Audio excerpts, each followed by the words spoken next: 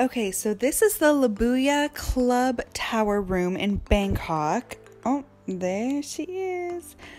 It was amazing. It had a full living room, dining room area. They brought us red roses for our wedding anniversary as well. A full kitchen.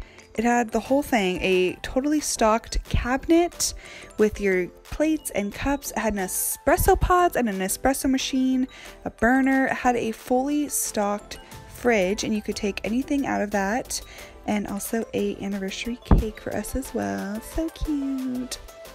The bathroom was incredible. It was this beautiful stone and everything was marked with TC for Tower Club. So it made me feel very fancy. The toilet paper, the towels, everything. Oh, there I am again.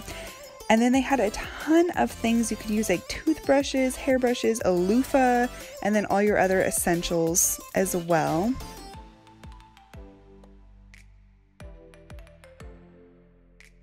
They had a safe and really good storage for shelving.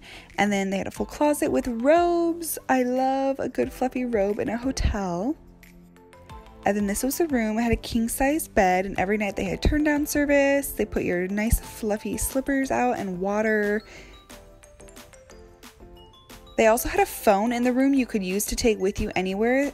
So you had Wi Fi wherever you were in the city. But come on, people, this is the best part.